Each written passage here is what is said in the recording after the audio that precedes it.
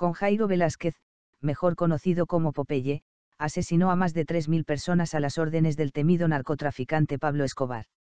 La turbulenta guerra del narco en los 80 y 90 dejó a Colombia con profundas heridas de las cuales aún no se recupera en su totalidad. JJ pasó 23 años y 3 meses encerrado en una cárcel de máxima seguridad en la cual, arrepentido de sus crímenes, decidió escribir respecto a su vida como sicario.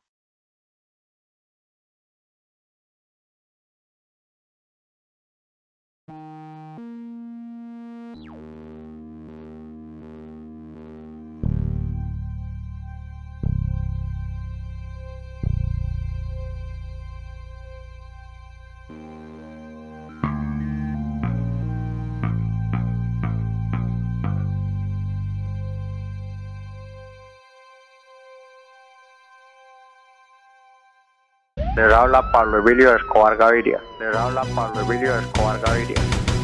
En este momento les tengo noticias, una buena y una mala. La buena es que les tengo un negocio, la mala es que tienen que escoger ya la decisión. Están invitadas este fin de semana a la Hacienda Nápoles, viáticos pagos para que disfruten de un plan señorita. Sí señoras, todas van a gozar de mi presencia. La segunda opción es no ir, no ir. Y si ustedes no llegan a ir, le mato a su mamá, su papá, su mamá, su papá, a su abuela, a, su abuela, a su mamá, su papá, su mamá, su papá, a su abuela, a, su abuela, a su abuela, abuela, abuela, abuela, a su abuela, abuela, abuela, abuela. Y si su abuela ya está muerta, la desentierro y se la vuelvo a matar. Así que ustedes toman la decisión. Muchísimas gracias. Les habla Pablo Emilio Escobar Gaviria.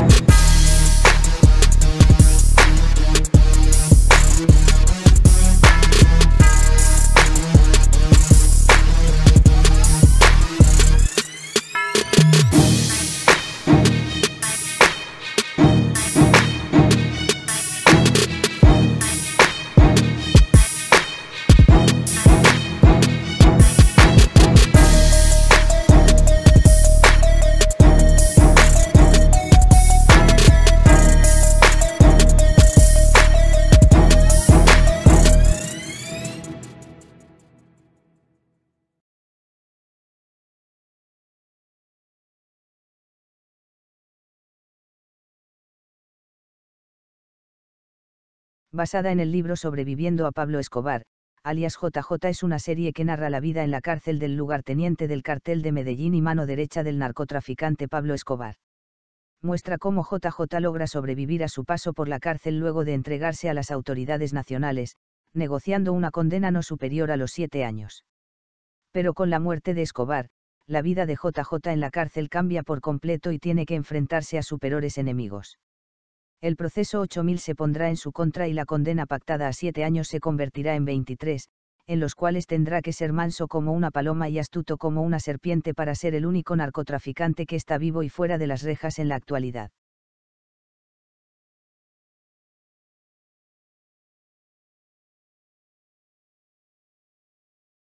Su nombre es sinónimo de terror.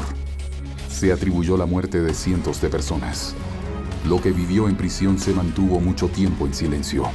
Sobreviviendo a Escobar, alias JJ, la historia tras las rejas. Este personaje pues es un, es un gran reto eh, por, por muchas cosas. Primero pues John Jairo es una persona que está viva, entonces es, es raro hacer la vida de una persona que, que vive.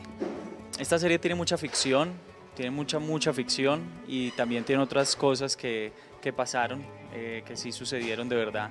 De, de, todas formas, cada personaje que uno, que uno interpreta es un reto, pero creo que este tiene un condimento especial que, que lo hace un poco más, que tiene un poco más de adrenalina.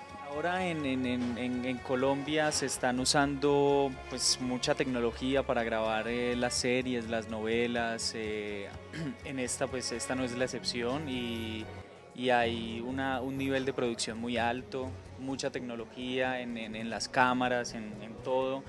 Y el equipo, el equipo técnico, pues son profesionales, son, todos son muy profesionales, entonces eso ayuda un montón, ¿me entiendes? Eso te ayuda un montón como actor, es un trabajo en equipo, acá uno no hace nada solo, entonces eh, los camarógrafos me dan consejos. ¿Qué hace aquí? ¿Eh? ¿Sabes más le vamos a cobrar todas las cagadas que ellos cobran de una vez? No me pueden mantener incomunicado, yo también tengo derecho, yo necesito... La vida me vuelva a tocar, yo que le arranco las manos. Este personaje entra a la cárcel, muere Pablo Escobar, y él estaba un poco bajo el manto de Pablo Escobar y era el sicario de Pablo Escobar. Pero cuando entra a la cárcel y muere Pablo Escobar y este personaje se empieza a encontrar con todos los enemigos del cartel de Medellín, todos sus enemigos, todos los enemigos de Pablo Escobar y lo quiere matar todo el mundo. Y todo el mundo lo manda a matar y sale vivo después de 23 años. Entonces creo que es interesante. Para mí es interesante saber cómo sobrevivió 23 años a la cárcel.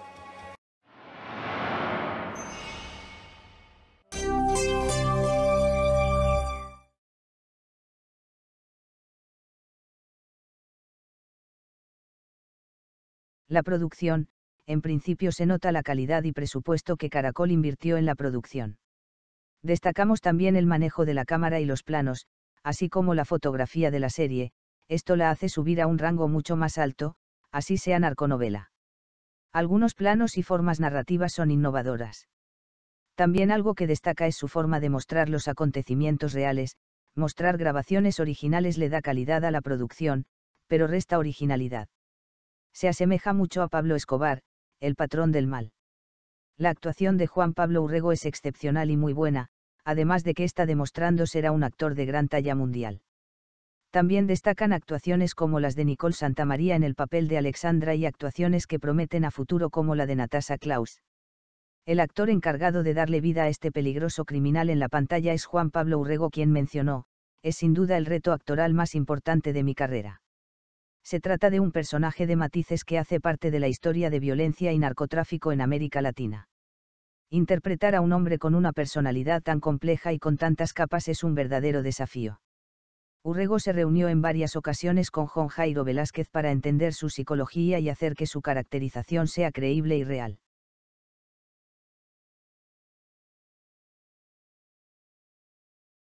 Hubo una campaña para que los colombianos no sintonizaran el canal Caracol cuando transmitiera alias JJ. La historia basada en el libro Sobreviviendo a Escobar de Juan Jairo Velázquez despertó una vez más la polémica sobre las series que retratan criminales. A el alias de este hombre, se le señala de haber cometido al menos 300 asesinatos y participado indirectamente en 3.000 más. Las víctimas del narcotráfico de los años 80 y 90 se opusieron a que la historia se contara exaltando al victimario, pero su reclamo no fue suficiente para frenar que en febrero pasado se empezara a emitir en el país.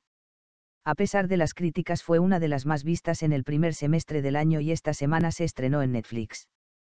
Él es bandido, como se presenta en su cuenta de Twitter con más de 33.000 seguidores, estuvo 23 años en la cárcel y después de quedar libre en 2014 no ha querido pasar desapercibido abrió un canal de YouTube que en menos de un año consiguió superar los 100.000 suscriptores y con un discurso radical ha manifestado sus aspiraciones políticas para hacerle oposición a quien huela a izquierda.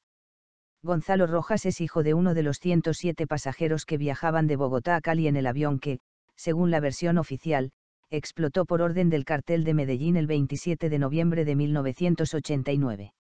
Él habla del daño que las narcoseries le hacen a la historia de un país como Colombia y reitera el rechazo a este tipo de contenidos.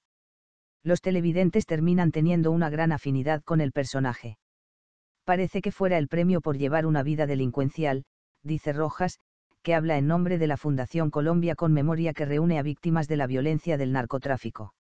Han pasado más de 20 años desde que se desmanteló ese aparato criminal y parece que todavía hay gente que no conoce el daño que hizo, tal vez por eso existe tanto morbo y la vida de esos mafiosos genera tanta sintonía, reflexiona Rojas. La prisión en donde se desarrolla la serie está inspirada en la cárcel La Modelo de Bogotá, que en los años 70 fue lugar de reclusión sobre todo de narcotraficantes y guerrilleros. La insistencia de sus creadores en decir que la ficción se impone en esta serie sigue sin satisfacer a las víctimas. Dicen que mientras no se les tenga en cuenta para retratar lo que se vivió con el narcotráfico en Colombia, la historia estará incompleta.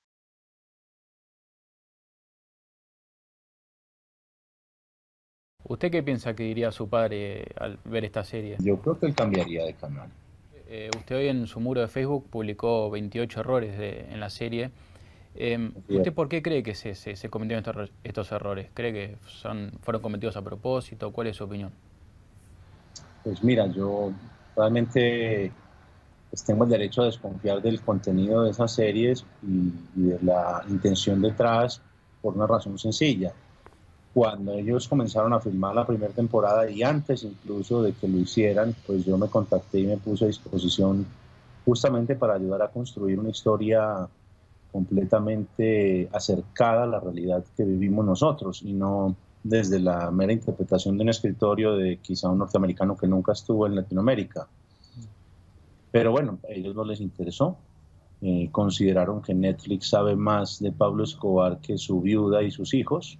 Y entonces, bueno, esos son los resultados. Eh, claramente, pues no, no, tienen idea de quién es Pablo Escobar, pero sin embargo han hecho una serie exitosa eh, contando una historia pues que no es real, a mi juicio, yo que estuve ahí y que la viví. En la serie el fiscal Gustavo de Grief es mostrado como una persona incorruptible y, no se hace referencia a los vínculos con el cartel de Cali, de, Cali como usted también dice en su, en su descargo en Facebook. Eh, ¿Cuáles eran estos y en vínculos? El libro también, y en el, en el libro también digo que el cartel de Cali tenía oficina adentro del mismísimo edificio de la Fiscalía General de la Nación de Colombia, eh, oficina que nosotros consultábamos y visitábamos de manera muy frecuente, porque cada que queríamos hablar con el cartel de Cali había que ir al edificio de la Fiscalía General de la Nación. Entonces, eh, ojalá hubiera sido esa persona que muestran en, el, en, la serie, porque, pues sí, en algunos momentos el doctor de Grave eh, mostró cierto apego y respeto por la ley, pero en la realidad y en la cotidianidad, pues a nosotros nos estaba protegiendo un grupo de asesinos del Estado eh, designado por él. ¿Qué recuerda eh, Sebastián del 2 de diciembre del 93? Eh, ¿Cómo se enteró? ¿Qué recuerdos tiene de ese día? Pues son bien distintos a los que muestra Netflix porque ellos muestran a mi madre hablando con mi padre por teléfono y quien estaba hablando era yo. La última persona que tuvo una conversación con mi papá fui yo. Entonces recuerdo que estábamos hablando acerca de unas respuestas para una entrevista en una de las revistas más prestigiosas de Colombia, la revista Semana. Y obviamente se estaba demorando mucho más de lo permitido eh, por seguridad en la línea telefónica y colgaba, pero cada vez él alargaba más las llamadas, con lo cual yo me daba cuenta que, lo que estaba queriendo era ser encontrado. La, la excusa para permanecer más tiempo en el teléfono era la entrevista, pero no, él sabía perfectamente que yo podría haber respondido eh, esas mismas preguntas sin su ayuda.